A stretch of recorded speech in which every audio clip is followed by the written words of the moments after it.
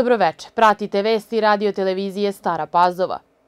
Dvoje povređenih prilikom obrušavanja nadstrešnice na železničkoj stanici u Novom Sadu danas su u boljem stanju, ali se borba za njihove živote nastavlja, kažu za RTS u kliničkom centru Vojvodine. U Paraćinu je danas drugi dan žalosti zbog preminule 24-godišnje Anje Radonjić, koja je u kliničkom centru Vojvodine podlegla povredama kao 15. žrtva nesreće u Novom Sadu. Ono što je važno da se nad pacijentima sprovodi 24-časovni monitor monitoring multidisciplinarnog tima, da se sprovode hiruške procedure i procedure konzervativnog lečenja. Ako mogu da kažem, ovo je jedan veliki napredak u lečenju, ali i dalje moramo biti oprezni sa prognozama s obzirom na to da se mogu razviti sekundarne komplikacije. Bez obzira na težinu povreda, vlada optimizam i ulaže se trud. Istakao je upravnik urgentnog centra, kliničkog centra Vojvodine, dr. Dragan Nikolić. Tomislav Momirović, ministar unutrašnje i spoljne trgovine, podneo je ostavku, potvrđeno je RTS-u. Tomislav Momirović je u vladi Ane Brnabić od 2020. do 2022. godine obavljao funkciju ministra građevinarstva, saobraćaja i infrastrukture, nakon čega je u dva mandata izabran za ministra unutrašnje i spoljne trgovine. Predsjednik Srbije Aleksandar Vučić juče je rekao da zbog tragedije u Novom Sadu očekuje ostavke u vladi i na drugim mestima, a u tužilaštva mere u najkraćem mogućem roku. Predsednik Srbije Aleksandar Vučić predsedavao je sednicom Saveta za nacionalnu bezbednost. Nakon sednice predsednik je naveo da su razgovarali o aktuelnim dešavanjima. U ovim složenim i nelakim geopolitičkim previranjima daćemo sve od sebe da sačuvamo sigurnost i bezbednost naših građana i naše Srbije, poručio je Vučić. Ministar unutrašnjih poslova Ivica Dačić rekao je nakon sednice da je zaključak današnje sednice Saveta da je bezbednostna situacija u Srbiji stavljena stabilna, ali da je opterećena geopolitičkim izazovima u svetu, kao i da postoje i bezbednostni problemi opterećeni unutrašnjim faktorima. Predsjednica Narodne skupštine Ana Brnabić izjavila je danas da Srbija i Maroko neguju prijateljstvo još od pokreta nesvrstanih i da je sa kolegom predsjednikom predstavničkog doma parlamenta te zemlje razgovarala o saradnji u oblasti privrede, ekonomije, veštačke inteligencije i obrazovanja. Brnabić je nakon sastanka u Rabatu istakla da je zahvalna na jasnom stavu Kraljevine Maroko o teritorijalnom integritetu Republike Srbije i autonomne pokrajine Kosova i Metohije kao sastavno sastavnog dela Republike Srbije.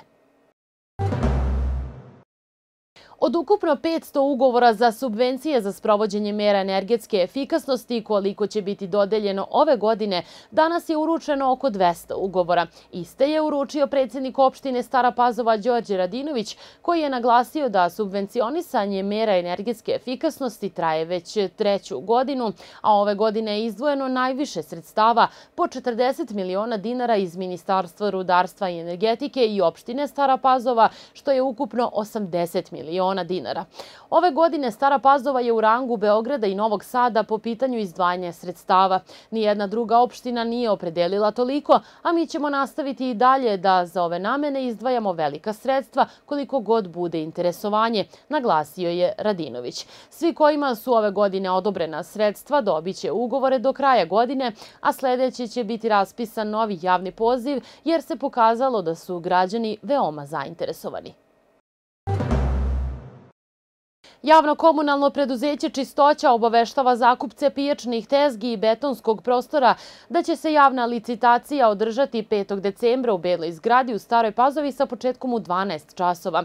Početna cena zakupa tezgi u Staroj i Novoj Pazovi i u Novim Banovcima iznosi 30.540 dinara, a za zakup betonskog prostora iznosi 26.260 dinara, dok za tezge u Golubincima, Vojki, Belegišu i Surduku početna cena zakupa iznosi 15.200 dinara, a za betonski prostor 11.200 dinara. Velemajstor iz Stare Pazove Aleksandar Inđić postao je šampion Evrope u šahu. Posle osvajanja titule evropskog prvaka u timskoj konkurenciji, Srbija ima evropsku titulu i u pojedinačnom takmičenju. Petostruki prvak Srbija osvojio je titulu na šampionatu održanom u Petrovcu u Crnoj Gori. U poslednjem kolu Inđićev protivnik bio je velemajstor Danil Darda iz Belgije, a posle dva i po sata igre protivnici su dogovorili remi i time je Staropazovčanin obezbedio pobedio evropski pehar. O zasluženom prvom mestu govori i činjenica da je Aleksandar ovaj turnir odigrao bez poraza i sebi obezbedio direktan plasman i na FIDE svetski kup koji će se održati 2025. godine. U nastavku sledi izjava evropskog prvaka iz Stare Pazove. Inače, Inđić ima 29 godina i iza sebe ogromne uspehe. Pored titula nacionalnog šampiona, bio je jedan od najistaknutijih članova srpske reprezentacije koja je 2023. godine u Budvi osvojila evropsko prvenstvo u ekipnoj konkurenciji, ali i ekipa koja je prethodnog leta u Budimpešti došla do impresivnog petog mesta i bila najbolja selekcija iz Evrope. Njegov trenutni FIDE rating je 2623, a očekuje se da će posle ovog turnira znatno popraviti plasman na FIDE rang listi.